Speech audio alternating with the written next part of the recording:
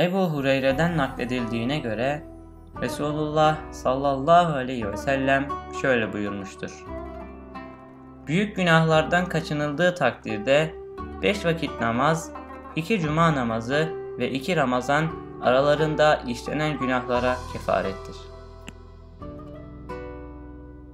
An Ebi Hureyre radıyallahu anh enne Resulallah sallallahu aleyhi ve sellem kâne yekul الصلاة الخمس والجمعة إلى الجمعة ورمضان إلى رمضان مكفرات ما بينهن إذا اجتنب الكبائر.